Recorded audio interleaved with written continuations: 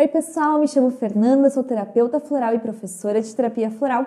E nesse vídeo nós vamos falar sobre como os florais funcionam. Quando a gente pensa em floral, a gente precisa entender que no frasco não tem princípio ativo, não tem moléculas com propriedades terapêuticas, não tem nada disso. Mas o que tem no frasco de floral que promove os efeitos do floral? Tem informação, tem campo de consciência informado. Esse campo de consciência é passado da planta para a água por meio da luz do sol ou do calor do fogo e a água armazena essa informação. E essa informação é capaz de despertar virtudes até então adormecidas dentro de nós mesmos. O floral não traz nada de fora, ele desperta o que já está dentro de nós, porém adormecido ou encoberto pela sombra oposta à virtude. A gente pode dizer que o floral age na alma, na essência de cada pessoa, despertando a virtude oposta ao desequilíbrio apresentado. O foco da terapia com florais está na luz, nunca no problema. Que virtudes eu devo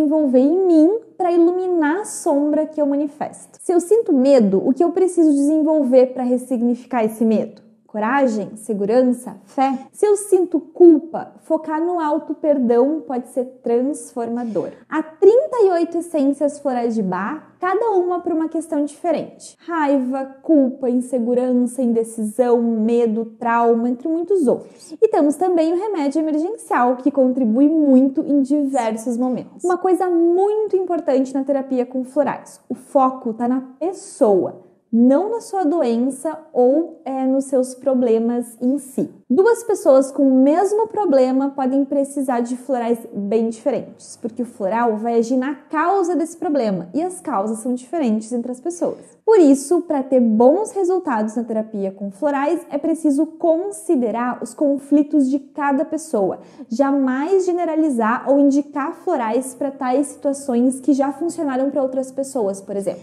Então, para não esquecer, florais agem na alma, despertando virtudes opostas ao desequilíbrio apresentado. Não se combate o problema em si, enaltece a virtude que fará o problema não fazer mais sentido.